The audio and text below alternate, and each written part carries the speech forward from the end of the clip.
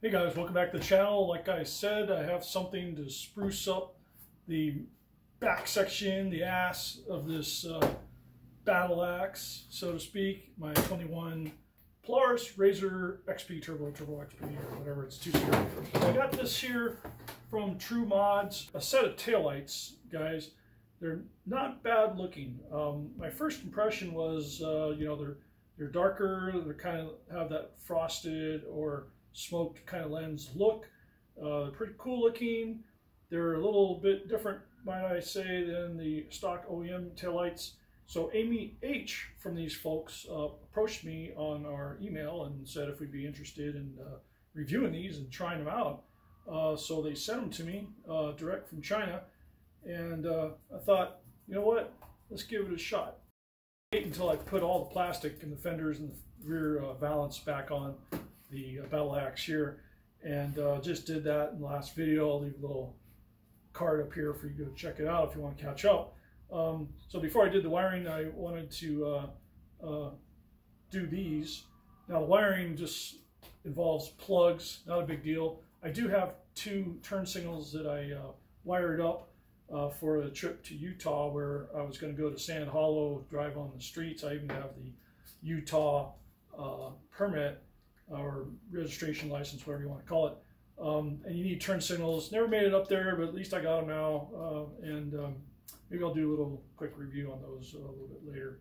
So anyway, here are the taillights. I'm going to flash what they look like stock. Again, they're functional, not bad, but uh, this will maybe spruce it up a little bit. And um, without further ado, let's get started. So guys, I do want to say the packaging is really nice. It's really quality packaging. It's well protected, um, not a scratch on them. And so that kind of says something that the company is at least serious. Um, and you definitely want first impressions. So the first impression was definitely uh, fit and finish is really nice. Uh, box is actually shoebox size. I'm going to save this box because it's pretty nice.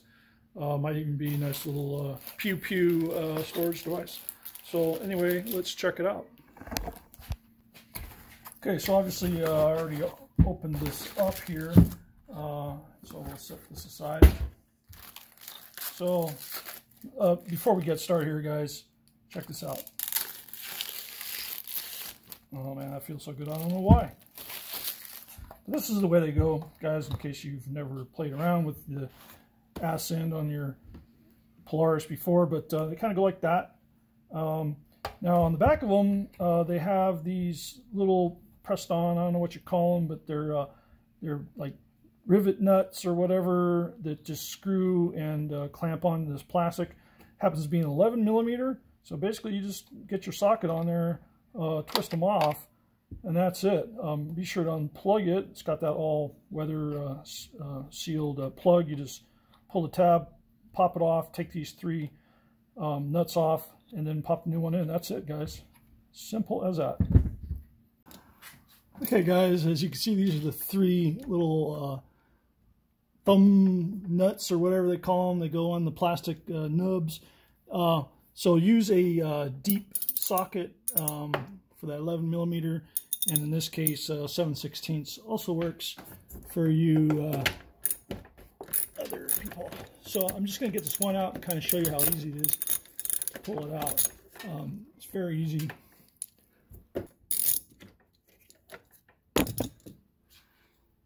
There you go, guys. That's about it. That's what it is right there. I'm going to go ahead and do the other two, and I'll meet you over at the table.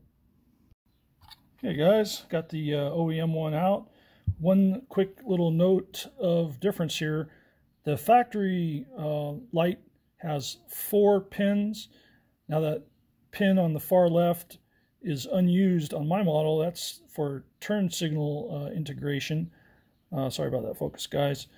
And the um, aftermarket does not have the turn signal integration.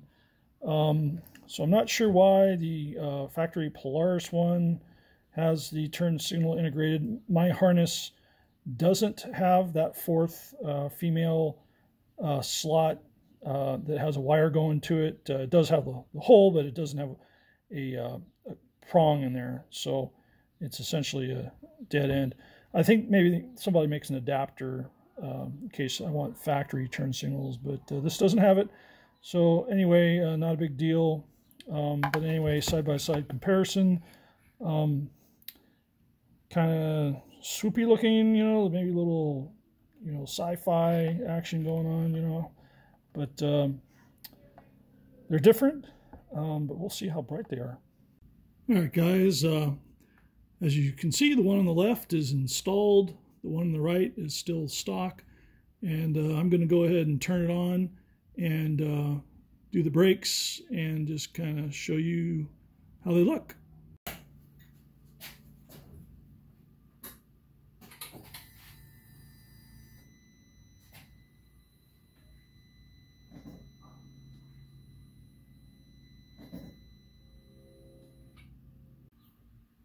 All right, guys, I'm going to do a little close-up this time. And I want you to pay particular attention to that lower left little area right here, how it flashes.